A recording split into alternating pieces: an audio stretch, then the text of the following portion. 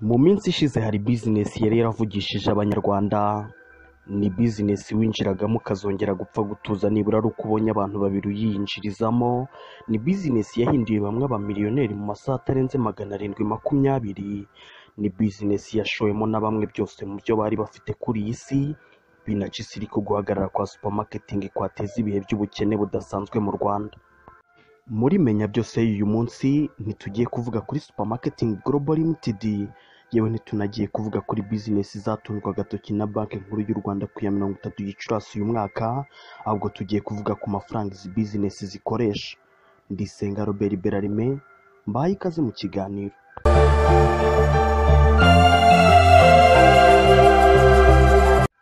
Izi bizinesi zikorera kuri interinete, zikoresha amafaranga yitwa karensi, amafaranga yahanzwe n'abahanga mu bya mudasobwa.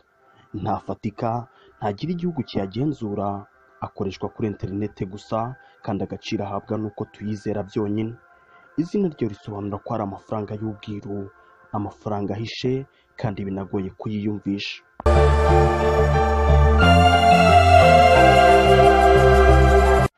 Kugeza uyu munsi aya mafaranga ari mu bwoko bwinshi, akaba abimburirwa na Bitcoin yatangiye gukoreshwa muri bibiri n'icyenda, hari ayitwa Litecoin yavutse muri bibiri na cumi na rimwe, hari ayitwa Ethereum, Repo, Bitcoin Cash, Ethereum Classic ndetse n'andi. Kugira ngo ubone aya mafaranga bica mu nzira ebyiri. Iya mbere ni uko ushobora kugurisha ikintu ukayahabwa, nawe wagira icyo ugura ukayatanga. Indi nzira yo kubonamo aya mafaranga yitwa mining. Ubu ni uburyo ukoresha mudasobwa mu kugena imibare yo kugenzura andi mafaranga, ubundi ugahembwa igihembo cya kiripito karensi.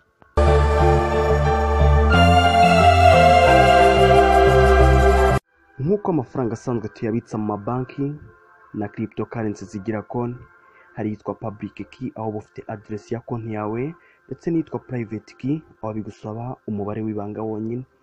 Nubwo kiripito karensi nta gihugu kiyigenzura, buri munsi agaciro kayo karikuba, bivuze ko ari nka zahabu mu zindi. Ibyiza byayo byo ni byinshi, kugura no kugurisha kuri interineti yarabyoroheje, kohereza umuntu amafaranga by'umwihariko uri mu mahanga binyaruka kurusha umurabyo, aya mafaranga acungiwe umutekano kuko kuyahakinga bigoye hafi yo kudashoboka, kandi ikiguzi cya serivisi ni hafi ya ntacyo.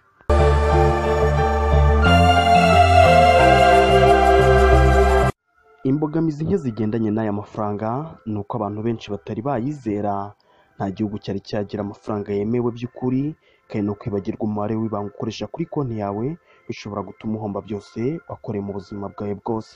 Mu biganiro bitaha tuzabagezaho ubutekamutwe bwateye muri iyi minsi, ukaba ukwiye gukora subscribe kugira ngo ibi biganiro bitazagucika, utazavaho unacucurwa. Iki kiganiro cyitwa Menya Byose.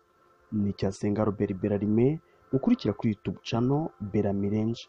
Ku mpamvu iyo ari yose watwandikira kuri zeru karindwi kabiri makumyabiri n'umunani ijana na mirongo irindwi kane kane cyangwa kuri Instagram Beramirenje. Soreje aha ndabashimiye.